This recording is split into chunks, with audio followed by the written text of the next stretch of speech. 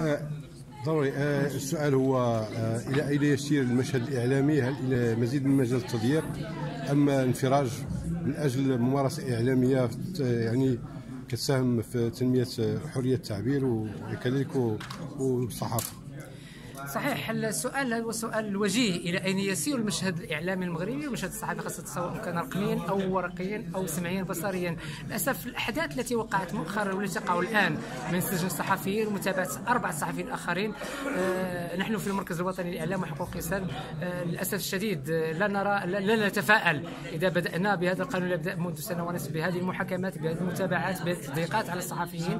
وإضافة إلى هناك متابعات أخرى وشكاوى في مختلف محاكم محاكم المملكه المغربية. هناك صحفي في تطوان آه وضعت ضده 32 شكاية. في تطوان. ويمكن أن نقيس على ما يقع في طنجة وفي الرباط وفي أكادير وفي باقي المدن المغربية. للأسف الشديد نتمنى أن ننتقل من هذا التضييق على حرية الصحافة وعلى التضييق أيضا على هامش الديمقراطية من أجل فتح المجال للصحفيين للكتابة بشكل حر حتى نتجاوز ذلك الرقم المدل والمتخلف للترتيب المغربي في الترتيب العالمي لحرية الصحافة والتعبير اللي هو 135 مقارنة مع أرقام مشرفة للعديد من الدول الإفريقية وبعض الدول العربية أيضا في المغرب العربي الكبير نتمنى ان نتجاوز هذه اللحظات الحرجة بالنسبة للصحافة المغربية حتى آه، يكون هناك انفراج كبير مستقبلا في آه، ممارسة الحرية وممارسة الصحافة بالمغرب.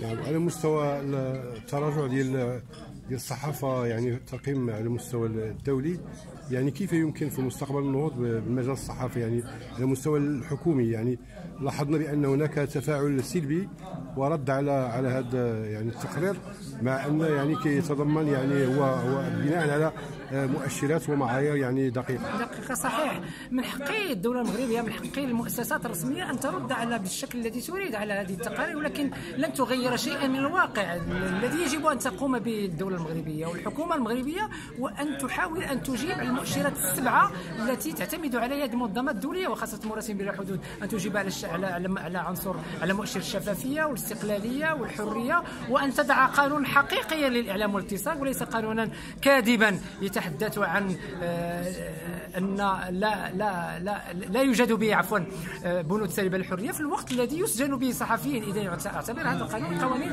الكاذبة وبالتالي منظمه الدولية لا تاخذ بمثل هذه القوانين التي لا تطبق على على الأمر الواقع.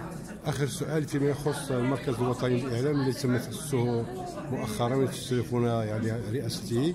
يعني على مستوى كيف يمكن تنمية ممارسة يعني الصحافه وحريه الصحافة آه، يعني على المستوى الوطني يعني بالنسبة للبرامج اللي عدل مع يعني المركز النهوض بهذا المجال. صحيح بالنسبة للمركز الوطني للإعلام وحقوق الانسان الذي أسس مؤخرا ولكن كانت له لقاءات قوية مع مؤسسات رسمية خاصة المجلس الوطني لحقوق الإنسان والمدير والمندوبية الوزارية لحقوق الإنسان. وأيضا جلسنا مع المندوبية أو المفوضية آه، مفوضية الاتحاد الأوروبي. آه، أعتقد أن المركز الذي يجمع بين ما هو إعلامي وما هو حقوقي سيشتغل على ثلاث مستويات سيشتغل على التأطير والتكوين لاننا نحتاج إلى تأطير وتكوين في الميدان الصحفي كما نحتاج أيضا إلى تاطير وتكوين لنشر ثقافة حرية الرأي والتعبير والصحافة. وسنشتغل بالموازاة مع ما هو إعلامي على ما هو حقوقي في مختلف المجالات. إضافة إلى اننا سنندد بطبيعة الحال بكل انتهاكات حقوق الإنسان والحقوق الإعلامية في مختلف الجهات المملكة سواء كانت هنا في طنجة تطوان الحسيمه أو في باقي الجهات الأخرى. شكرا.